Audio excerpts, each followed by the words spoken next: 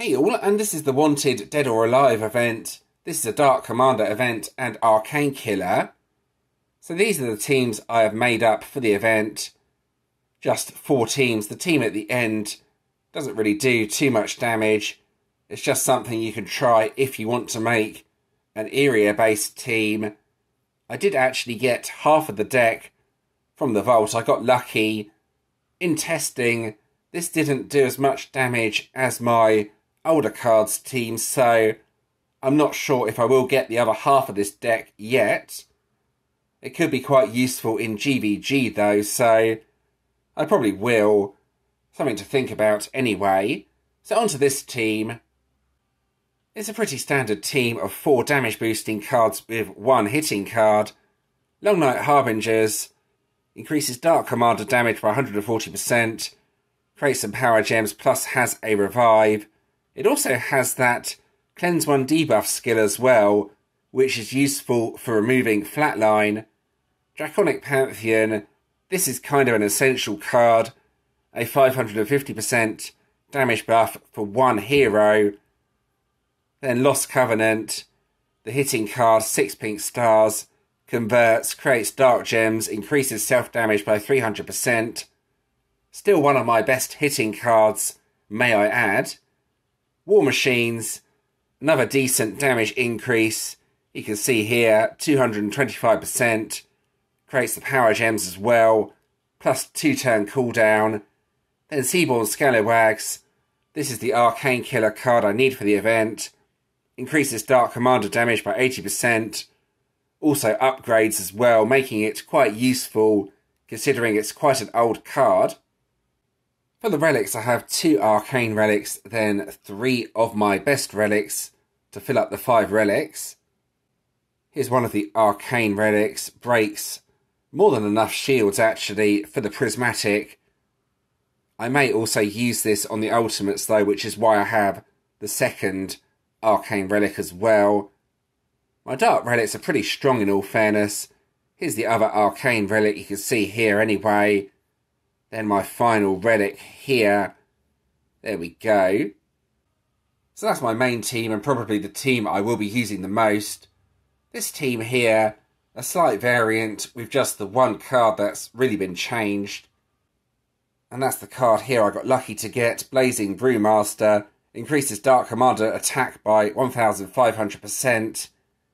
In testing, this didn't really seem to compare to damage boosts, but I think I need to make a slight adjustment to this team as one of the cards should be swapped for another.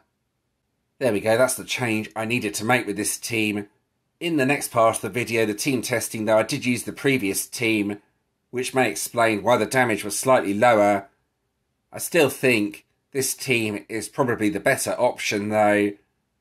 But this team is probably about the same, if I'm being honest, if that ultra rare card was the event ultimate form, so it's difficult to really say if an event team or non event team is better for this event. Anyway, let's go across to the ultimates team. This is just about breaking the shields. This will be used on the later level ultimates. This breaks the four shields, then another four, so eight, another three, so that's 11, then 13, 18, 22, 27 shields in total. More than enough, I think, to get to where I probably will be able to get to with the ultimates, if that makes sense. I normally struggle more with the amount of damage the ultimates deal over the shields they have. The team does have a revive, but flatline may make that tricky. And this is an idea to try if you are struggling with other ideas. You can try boosting up an Immortal Killer card with High Performance Unit Area. So here is Area. It gives a 2500% increase to Immortal Killer attack. That's higher than the event ultimate form, but it's only Immortal Killer rather than all Dark Commander cards. And then that's used to boost up the Fraggers in this instance. This is a good card as it does have that cleanse as well and removing debuffs. You can see here in the battle skill, also an unstoppable card, and then the other three cards you've seen before. This is a 550% damage buff that goes on defraggers. Then Seaborn Scalawags the Arcane Killer card, and War Machines again with the decent damage boost. It won't do as much damage as the previous teams, but it is something to try if you are struggling for ideas. So there we go, that's the teams I will be using for the event. Let's get on with the actual event. Here we go. Alright, so here's the actual event. The prismatic map is quite difficult this time around. There doesn't seem to be too many teams that can get through it quickly. So one thing you could try is playing the iron map and just trying to get ultimates up. I think they spawn from around level 20 of the iron map. And that could be a better strategy than playing prismatic if it's taking you a long time to get through that. It also depends on what guild you're in. But that's something to consider anyway. If you don't want to do prismatic, I'm not going to actually play this. I am going to start testing out my two main dark teams. I think we can try a prismatic guild boss.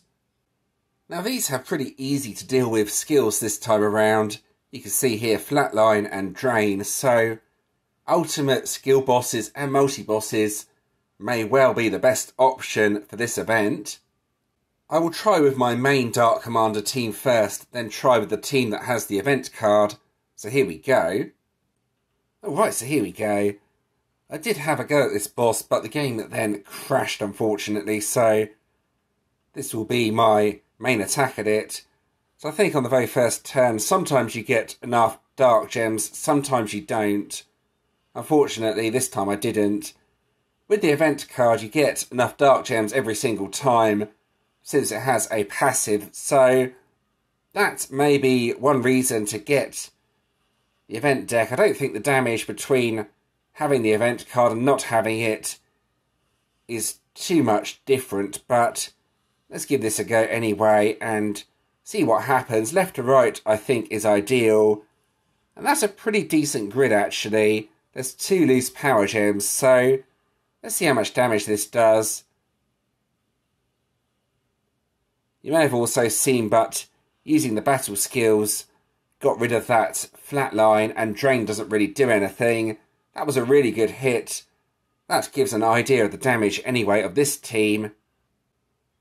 Alright, so let's have a go with my team that has an event card and the attack boost. I'm not sure how well this will work. I do know that this has a nice passive that gets all the dark gems at the start though, which should help, but it is only an attack boost rather than a damage boost. I will hopefully get a decent hit on the boss though, so I can give it a fair comparison to the other team. Alright, so here we go. This could be good on the ultimates as you always get the dark gems at the start because of that passive you can see here. So the event ultimate form could be useful for that reason. I don't think attack really compares to damage though, even though it is quite a high attack bonus. This is about the same sort of grid as what I had before as well, so this should be a fair comparison. So I need to do around 300q. Let's see what sort of damage I do. So it's slightly under, and that pretty much confirms that damage is going to be better than attack in this situation, I think. So to be honest, they may have sold a dud ultimate form here, so to speak. Damage seems slightly better, not significantly better than having the attack boost, but the passives on the ultimate form could make it useful in situations like Crusade, so it's difficult to say since I only have the ultra rare, but hopefully that helps a bit if you are considering getting the ultimate form. Alright, so that's the team testing done. It is a special Cudgel Week event again, so let's go over to the bosses page. Alright, let's take down one of these bosses. Should be pretty easy with my Dark Commander team. let's give this a go with Battle Boost just because the previous variant of this that I used wasn't quite as good. So this should be a better comparison to my other team as long as I get a decent grid just to see what that attack boost does compared to a damage boost. I still think damage is better, but you can all decide that for yourselves depending on what cards you have. Let's see if I can get a really good grid here. Probably won't happen, but you never know. That's not bad actually. A couple of loose at the bottom. Let's see the damage. I don't think the three in the corner were power gems though. Let's see what this hits for. So, yeah, still under 300q even with that grid. That's the boss well and truly defeated anyway. There we go, that's the ancient coin. I can go over to the cudgel shop. There's some interesting items here. You can see lots of hammers. There's also, yeah, the mauls down the bottom. Ascended ingot as usual. This is slightly different to what we normally get. I'm not really sure how to get the second item. I would have thought it's a reward from the leaderboards. But this looks quite a bit better than what you normally get. I'll just bring up my guild here. Let's scroll nearer the top. I would have thought, yeah, you get some interesting items, some core items. Not sure how to get that other item though for the shop, so that would be something I work out later on, I would have thought. There we go, that's the Cudgel Week event anyway. Let's move on to the collection. Now this is an amazing collection. It's about time we had something decent. GVG Dark Relic Collection. Let's go ahead and claim all of this. Get lots of runes. Here we go. Are they all different runes though? Well, doesn't look too bad. Doesn't look too bad too. I think I may have got one of each rune from that. Let's go over to the Forge page and find out. Here we go, let's scroll down. Legend Relic, Lance of the Endless. There we go, so that's looking pretty good apart from the Dark Rage Legend Rune. I've only got one of those, unfortunately, so I can only really do that. I might get more of those from the Guild Supremacy stuff, though, so... Oh, this is looking promising. This is looking very promising. Now that's a good result. That's a very good result. One pink star, Lance of the Endless. Brilliant. Yeah, there we go. Nice. So I'm pretty happy with that. You got to see me make that lovely lance. Let's go back over to here anyway. Go and claim that random six-star hero. Right, so scroll down here, collect the support hero and make it six stars. Right, there we go, done like that. And get this essence, random six-star bonus hero. Let's grab this and see what I get. Okay, I think that's the main hero from the current deck. It's tempting me to make it with coins. Let's have a look at this. I may have to make this deck just because I can get the shiny as well. It doesn't look like an amazing deck, but shiny plus the ultimate form. And I only need three more coins to make it, making it a very cheap deck. Frontier Mavericks increases Dark Commander attack by 1500%, dispels two enemy buffs, and heals as well. At the start of each turn, creates 10 Dark Power Gem IX, and every other turn as well. So, I think the best use for this event ultimate form is probably in GVG, if I'm being honest. This looks like a GVG card rather than an event card. It's definitely an interesting deck, though. I will need to do more testing with it once I actually get it. If you are just going to get one of the cards, you of course want to get the card with the attack boost. That's the ultra rare Blazing Brewmaster. You've seen me use this already. Increases Dark Commander attack by 1500% for two turns. The other card will just create the power gems, I would have thought. Bolt Huzzah, Infernal Hand. Oh, it does have the cleanse as well. And the Royal Flush skill, which creates the power gems, but not much else, so not so useful on its own. And there we go, I'm going to end the video at this point. I hope that was interesting and helpful.